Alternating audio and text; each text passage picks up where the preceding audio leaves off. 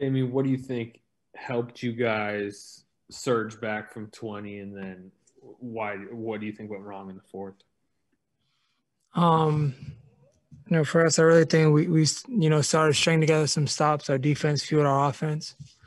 Um, you know, just being able to get some stops, get out and run, uh, not playing against a set defense really helped us out uh, to, you know, sort of come back in the game. Um, I mean, if you look at the third quarter, we outscored them 40 to 21. That's huge. But then you go to the fourth, and you know they outscored us by 15. So you know that was sort of the uh, tale of the game, obviously, from us. You know, losing the first and fourth quarters by 15 and 18. In, in some of the other close games that you guys have lost, what are the the similarities between them, the common thread that makes it so you guys can't close them out? Um, I feel like um, I mean execution really for us is probably the main thing.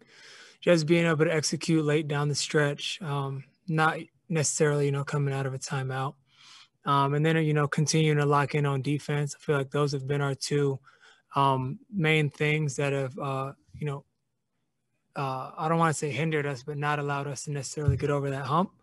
Um, so you know, obviously, still continue to learn, continue to grow continue to go from there. Um, you know, and then eventually try to come out on the other side with a win rather than, um, you know, losing.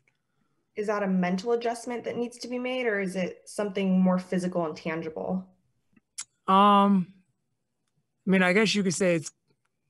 I don't want to say like it's a little bit of both, but it's just understanding, you know, time and score and us, you know, when we need to stop, you know, guys rallying together and you know giving each other con- continuing to give each other that confidence um, you know it's just it's you know at the end of the day you know basketball is, is a game of runs and you know the good thing is we went on that run in the third quarter score was tied and then um, you know in the fourth quarter they really you know imposed their will um, you know on the defensive end and that obviously you know allowed them to uh, you know score they got to the foul line knock down free throws and then you know that's how they came away with the win